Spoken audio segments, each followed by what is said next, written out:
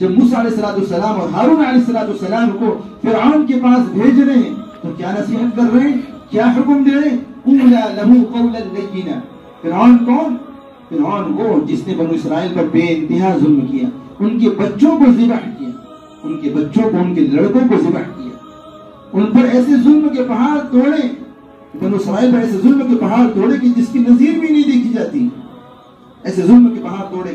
وہ شخص جس نے خدائی کا دعویٰ کیا گویا اللہ کو مقابلے کے لیے للکارا۔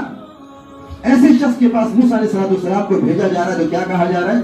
قولا لہو قولا لینا اس کے ساتھ جا کر سختی کے ساتھ بات نہیں کرنا، نرمی کے ساتھ بات کرنا۔ کس کے بعد کس کے پاس بھیجا جانا فرعون جیسے ظالم کے پاس۔ کیا کہہ کر بھیجا جانا کہ نرمی کے ساتھ برداشت کرنا۔ اسی وجہ سے اللہ تبارک و تعالی نرمی پر وہ عطا فرماتے ہیں، نرمی سے وہ فوائد حاصل ہوتے ہیں جو سختی سے نہیں حاصل ہوتے۔ اس لیے ہمیں بھی دعوت و تبلیغ کرنے کے اندر ہمیں بے شک حکم ہے اللہ کے بندوں کو اللہ کی طرف بلانا، لیکن اس کے لیے بھی نرمی ضروری ہے۔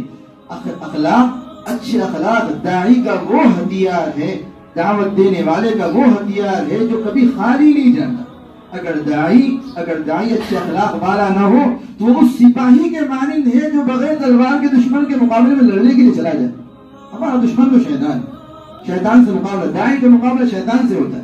دعوت دینے والے کا مقابلہ شیطان سے ہوتا ہے۔ اگر وہ اچھے اخلاق سے آری ہو کر سختی کے ساتھ اگر دعوت دینے کے لیے جا رہا ہے، تو گویا وہ شیطان سے لڑنے جا رہا ہے بغیر ہتھیار کے جا رہا ہے۔ اور اس کے مغلوب ہو جانے میں اور اس کے ہار جانے میں کوئی شک نہیں ہے۔ تو اچھے اخلاق وہ تو داعی کا ہتھیار ہے۔